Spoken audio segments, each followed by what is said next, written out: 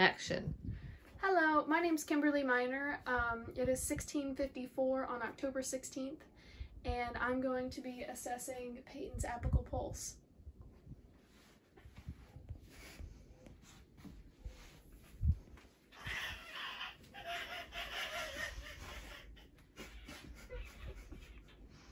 Do I have to scan everything? Yes. Peyton.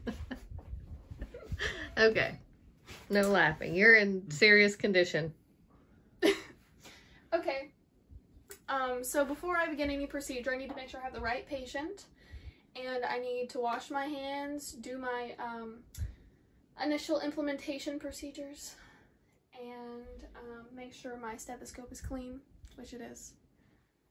Um, so Peyton, today I'm going to be performing an apical pulse on you. Basically what that means is I'm going to come in um, and I'm going to feel your pulse right here. And uh, I'm just going to count it for one minute and that'll be it. Okay. Okay. So first we have to palpate the pulse. So what that means is it'll be on the left side at the mid-clavicular line at the fifth intercostal space. So that would be about right here. And I'm going to put my bell over it. Count for one minute.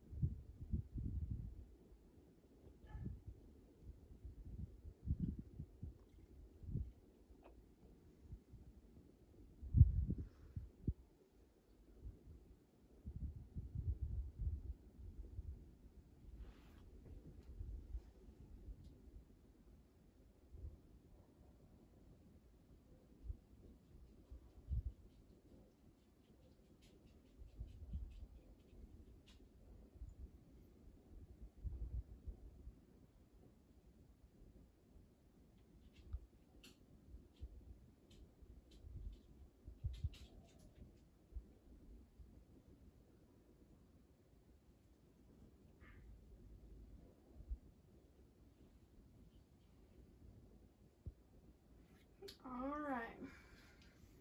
So your pulse was 87. I'm gonna cover you back up. And um, I'm gonna make sure that your bed's lowered and you got your call light. Do you need anything else? Good deal.